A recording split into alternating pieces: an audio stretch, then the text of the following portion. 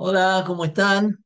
Les cuento que vamos a charlar un poquito sobre la continuidad del video que hicimos ayer en función de la estrategia de Javier Milei para la Argentina.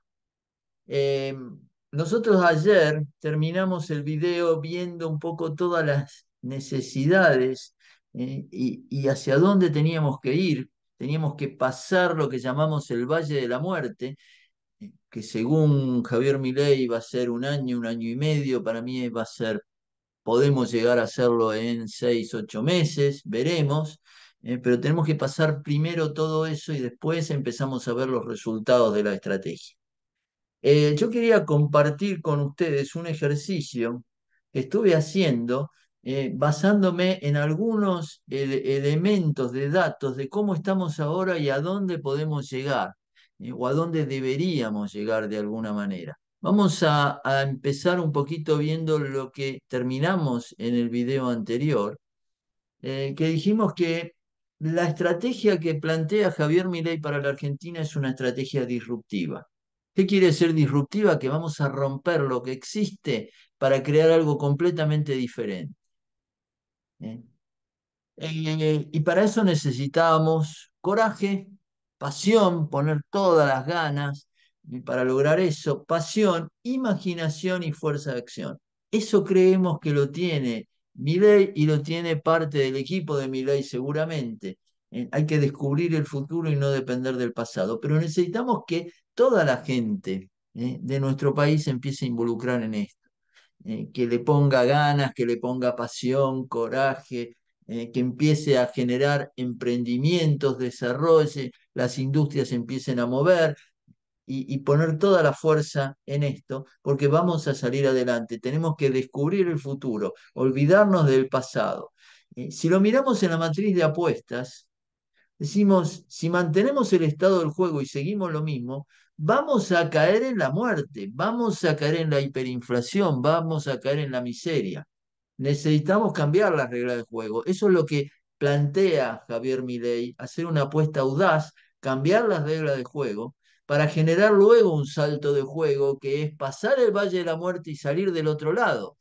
Eh, para eso eh, necesitamos la disrupción y la disrupción es que toda la gente, lo que está acá, cambio de patrones de los consumidores, en este caso es cambio de patrones de la población, necesitamos que la población empiece a ayudar a todo esto, ¿eh? acepte todo esto y se juegue en esto. Y, entonces ahí sí generamos el salto de juego y pasamos al otro lado. Vamos a ver un poquito, bueno, acá tenemos la, la definición que es muy interesante de Jeff Bezos de 2016 eh, Jeff Bezos eh, fue el fundador de Amazon. Eh, dice, disrupción es una consecuencia que tiene que ver con el gusto de los consumidores sobre la nueva forma. Acá es el gusto de la población sobre esta nueva estrategia. Lo que nosotros decimos siempre es cómo vamos a deleitar a nuestros clientes. Nosotros no somos disruptivos, buscamos el deleite. Si inventamos algo eh, si inventamos algo nuevo y radical y no les gusta, no es disruptivo. Bueno, acá tenemos que lograr que la población, al principio la población está aceptando todo esto y se juegue por todo esto. Y ahí sí logramos la disrupción y pasamos al otro lado. Y si pasamos al otro lado, eh, vamos a encontrar que hoy, usando, por ejemplo, esta matriz, innovación, eh, índice de libertad económica, acá está basado en Heritage Foundation de 2023, Innovación de Visual Capitalist 2023. Vemos que la Argentina está en el peor cuadrante. Libertad económica muy baja, tenemos restricciones de todo tipo eh, y muy baja innovación para lo que se necesita hoy en el mundo. Acá tenemos algunos países latinoamericanos, Panamá, Perú, tenemos a España por acá, China, Brasil, acá tenemos a Uruguay, a Chile, con mayor libertad económica y mayor poder de innovación, y acá tenemos los países más desarrollados, eh, donde estamos considerando por acá Irlanda, eh, Noruega, Australia, República Checa, Israel, Alemania, Japón, Estados Unidos, Gran Bretaña, Singapur eh, que están en el cuadrante de alta libertad económica y alta innovación. ¿Qué tenemos que hacer nosotros? Liberar, que es el planteo de mi ley, liberar un montón de cosas para conseguir una libertad económica y cada vez más fuerte, y a medida que avanzamos vamos a tener mayor innovación ¿eh? y vamos en el futuro a poder pasar al cuadrante realmente importante donde eh, la libertad y la innovación eh, se correlacionan. Si lo tomamos ahora innovación con el PBI per cápita, nosotros estamos con el PBI per cápita más bajo de toda Latinoamérica prácticamente. Eh, podemos ir a otros países como Haití y demás que van a estar abajo nuestro, pero acá está Perú, acá está eh, Brasil, acá está eh, Panamá, Chile, Uruguay. Estamos muy, muy bajos. Estamos en 6, 7 mil dólares tomando el dólar al blue, cuando Uruguay está en 22 mil sea, estamos muy, pero muy bajos. Eh, con lo cual tenemos que crecer en el PBI per cápita, que es lo más importante. Pero fíjense la correlación, más innovación, más PBI per cápita.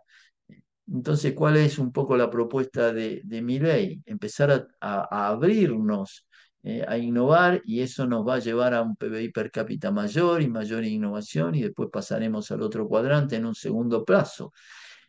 Y si buscamos la relación entre libertad económica, que ahora la tenemos en este eje, y el PBI per cápita, también se ve que todos los países con mayor libertad económica tienen mayor PBI per cápita. Entonces uno ve acá a Irlanda, el mayor PBI per cápita de Europa, y hace no tantos años era el PBI más bajo, PBI per cápita más bajo de Europa. Eh, liberando un montón de cosas, logró esto. Acá tenemos Australia, Noruega, Estados Unidos, Alemania, Japón, Gran Bretaña, Israel, República Checa. Y el mayor PBI per cápita de América Latina es Uruguay, está por acá. Eh, acá está España abajo. Acá tenemos a Panamá, a Chile, a Perú, a México, a Brasil y Argentina en las peores posiciones, China acá. Eh, entonces, la propuesta de Javier Milei es levantar, crecer fuerte en libertad económica que nos va a llevar a crecer en PBI per cápita y en un segundo plazo, en un segundo tiempo, digamos, llegar acá arriba.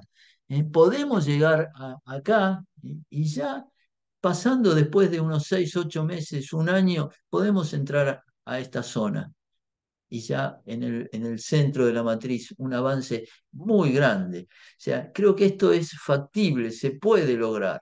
¿eh? Eh, el índice de Gini es el índice de desigualdad entre los sueldos más bajos y más altos. ¿eh? Brasil en Latinoamérica es el que tiene mayor desigualdad junto con Chile, Panamá, que está un poquito más arriba, pero están ahí. el de mayor desigualdad del mundo es Sudáfrica, estaría por acá abajo. Eh,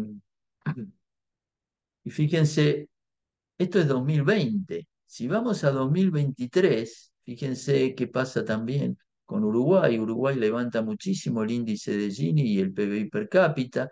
Argentina se mantiene ahí con un PBI per cápita un poco más bajo, o sea, la diferencia es bajó un poquito el PBI per cápita, el índice de Gini de Argentina eh, no es malo a pesar de todo, es uno de los mejores de Latinoamérica después de Uruguay, eh, pero es algo que se puede mejorar, pero el PIB per cápita es paupérrimo nuestro, con lo cual necesitamos levantar mucho esto eh, y, el, y, la estrategia de Milei nos va a llevar a esto, a mejorar poco el índice de Gini, no lo vamos a mejorar mucho por ahí en una segunda etapa, pero sí vamos a levantar fuerte el PBI per cápita, vamos a estar por acá.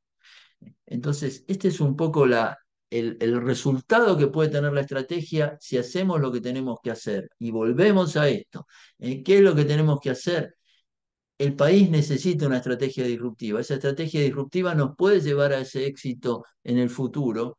¿eh? Y en el futuro no demasiado lejano, por lo menos la primera, lo que vimos en la primera flecha.